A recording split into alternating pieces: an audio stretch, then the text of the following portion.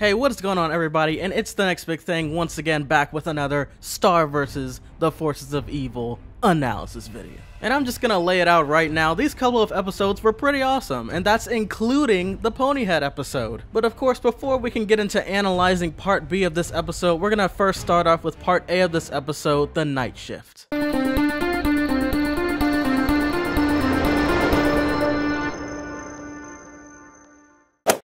And from the beginning of this episode, we have a ceremony specifically for squires becoming knights, including Marco Diaz himself. Plus, there's the return of Higgs the Squire, and um, there's more on her later on in this episode. During the ceremony, we clearly see Star cheering Marco on as he achieves his goal into becoming Mewni's knight. And then afterwards, it's revealed to the fact that Star has also sewed a cape representing their past memories. And while watching this scene, it made me think and realize, um, are they gonna get rid of that cape that he's always wearing in the intro of this show? It was already revealed to be King River's meat napkin, and plus its intro still includes Toffee possessing Ludo as well as Eclipsa being crystallized. And as we all may know, um, both events have already came and gone away. But I suppose unlike the meat cape that he received back earlier in season 3, this explains as to why Marco is seen posing with a blue cape on in the intro, since this is most likely to be the true cape. And as for the Ludo and Eclipsa scene, maybe Disney just got lazy at that point. And after Star is giving Marco his gift, she then decides to let him meet Mr. Crandle, as we all know him Mr. Candle, basically. The dude obviously has been trying to live incognito after he was originally dubbing the name Mr. Candle in Echo Creek working for Tom. Mr. Crandle even has the same exact cat statue that Tom was using to spy on Marco.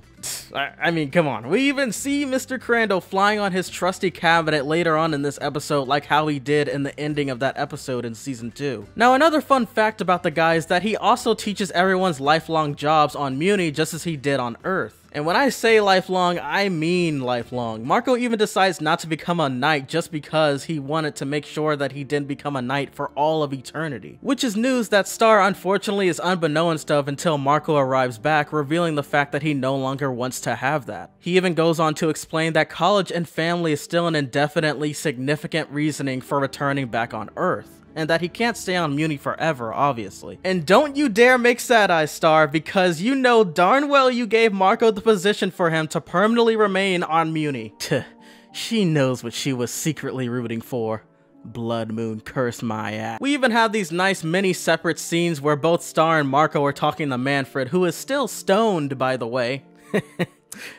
if you know what I mean. But anyways, that's besides the point. That just shows truly just how close their relationship is even after the Blood Moon curse, and how similar both Star and Marco are, and how hard it is for them to both express each other's feelings towards each other. A little later on, Marco is then kidnapped by the rest of the knights alongside with the other squires in order for them to have their night out party. And all is fine until Marco then later on reveals to them as well that he no longer wants to be a knight. So of course everyone's reaction is to then turn against Marco for almost absolutely no reason. And it's quite ironic how Star was just about to save Marco from all of this, except for the fact that she then realized that he needed his own space apparently. And by the way, this is indeed the same exact battle gear that she used back in season 1. And one major issue that I believe I will say that the Blood Moon Curse being broken did help with was their complete obsession with each other. Cause I'm sure with the Blood Moon Curse, things would have ended up a lot more differently. But before then, there was also a scene with Star explaining the situation to Eclipsa, who, by the way, is shown displaying Meteora play cards until the very last one being a symbol of a purple skeleton. Meteora then claps her hands in glee, with Eclipsa replying with very good. Seriously, if this isn't their way of deceiving us on whether or not Eclipsa and or Meteora is a potential threat, then I don't know what is. Purple is usually the color of Eclipsa's dark magic, and the skeleton pretty much says it all.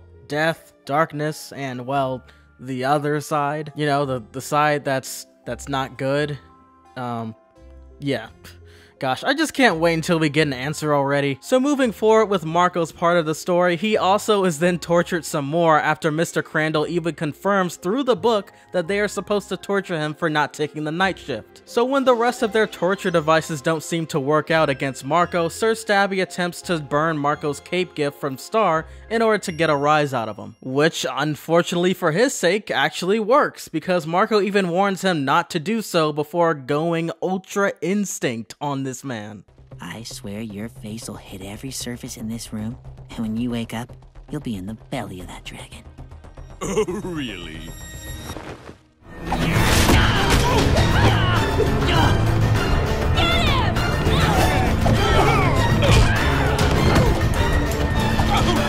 I wasn't joking.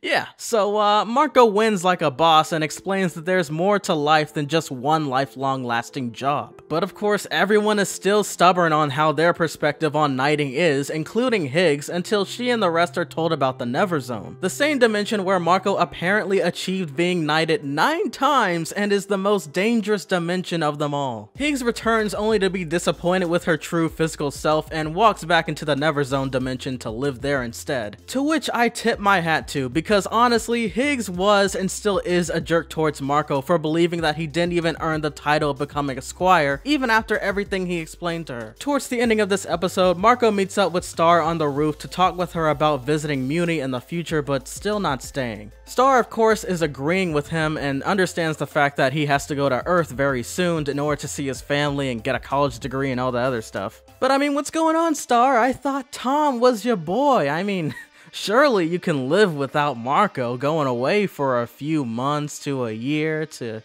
decades, having his own children with a different wife that wasn't you, and I mean, what's wrong with that, right? But besides that, another thing to cheer up Star, Marco also decides to give her a cape similar to what she gave him earlier in the episode. And after watching it a couple times, I realized that Marco must have stayed up from night to day making the cape since we clearly see them sitting on the roof during sunrise. And I don't know about you, but like I said in my other analysis video including the Curse of the Blood Moon, um, yeah, having the curse of the blood moon being finally lifted away from them was a great thing because once again we are revealed to their true feelings towards each other without some silly curse overriding everything. And staying up all night sewing a cape together for one of your best friends is true dedication. Oh yeah, when both Star and Marco's capes are together side by side it creates a little heart.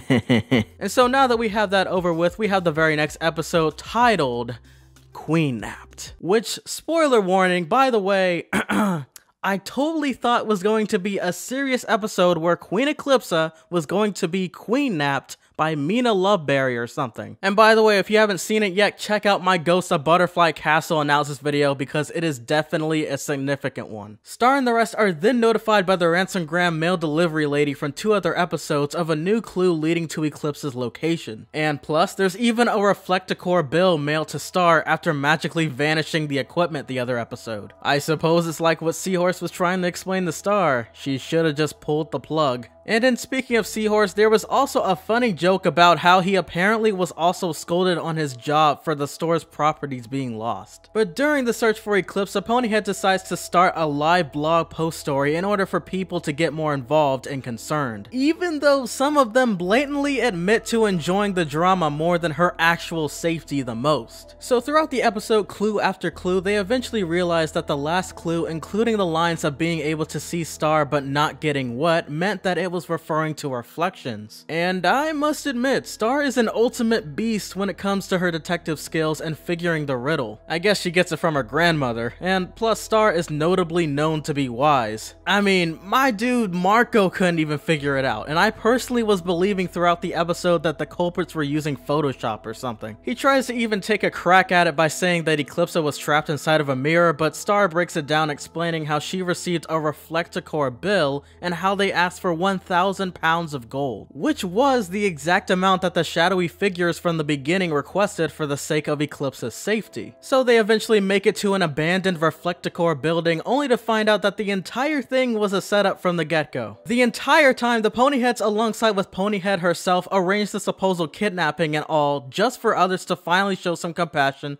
towards Eclipsa. And the monster tentacle face mask that Eclipse was wearing throughout the episode was virtual reality headgear for a game. It was was also a great way for Ponyhead to trap her sisters into going to jail since they have done some pretty wicked crimes in the past. Like for example, attempting to slander Ponyhead out of jealousy for her being the oldest and the royal princess of the family. and now in the words of Star herself, what Ponyhead did was in no way good, but she did miraculously bring Mewni together, and the approval rating as opposed to the Ponyhead Show episode skyrocketed. And well, I guess it's true that a good drama is all that people need at times.